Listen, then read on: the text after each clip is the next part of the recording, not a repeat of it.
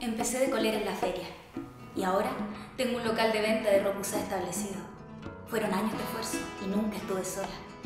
¿Sabes quién me acompañó en este proceso?